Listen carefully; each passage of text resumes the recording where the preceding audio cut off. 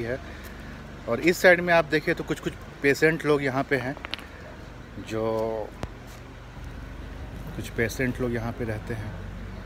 सो दोस्तों ये सीआईपी है जिसे आम तौर पे पागल खाना कहा जाता है जहाँ पे पागलों का इलाज किया जाता है।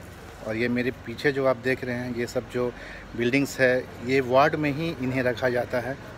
सो so, कुछ कुछ लोग यहाँ पे घूमते भी हैं कुछ कुछ लोग जो ठीक हो जाते हैं, वो इस गार्डन में भी घूमते हैं।